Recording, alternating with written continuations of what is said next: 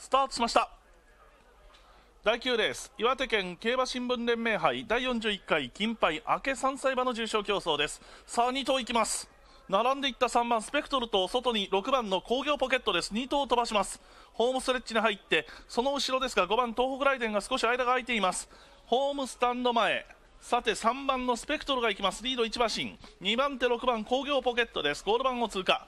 3馬身間が空きまして5番の東北ライデン3番手。2馬身差で7番工業タイムです。縦に長くなっています。1コーナー。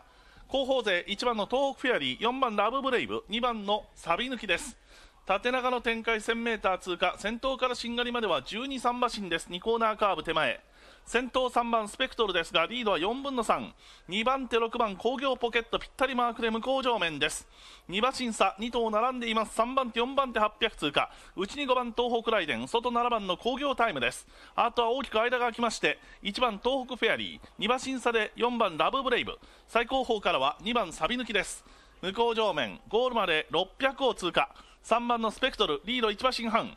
2番手6番の工業ポケットですが外から7番工業タイム上がっていきました。